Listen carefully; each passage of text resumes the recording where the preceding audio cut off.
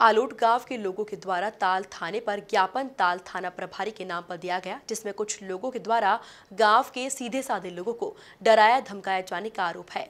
देखिए रिपोर्ट। आरोप है कि दो प्रतिशत ब्याज में पैसे देकर 10 से 15 प्रतिशत ब्याज वसूला जाता है, एवं जबरन अपने खातों पर कार्य करवाया जाता है। और मना करने पर डरा धमकाया जाता है एवं मारपीट की जाती है।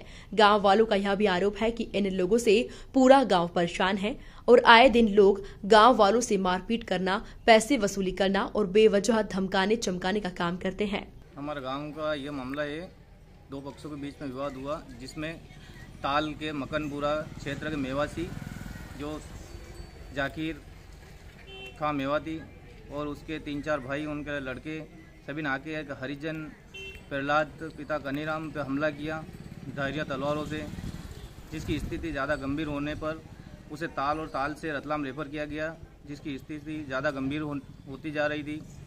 हमने कल रिपोर्ट करवाई और आज पूरा ग्रामीण क्षेत्र उन हरिजन प्रहलाद कनीराम के साथ है पूरा गाँव और ताल थाने में पूरे गाँव वालों ने जाके आवेदन दिया। ये लोग आए दिन दादागिरी करते रहते हैं लोगों को डराते रहते हैं अवैध वसूली करते रहते हैं और जबरन डिपियों पे तार डालते हैं, जबरन खेती करते हैं, लोगों पर दबाव बनाते हैं, जिस कारण आए दिन विवाद होता रहता है। पहले भी कई बार हुआ है, जिस पर पुलिस प्रशासन ने कोई संज्ञान नहीं लिया, उन पर अच्छी कोई कार्रवाई नहीं की, जिस वजह से परेशानी बढ़ती जा रही है, और प्रशासन आगे भी इस तरह की गतिविधियों पर अगर ध्यान न देगा तो इनके पावर और बढ़ते जाएँगे, और लोगों को ऐसे डराते, धमकाते रहेंगे।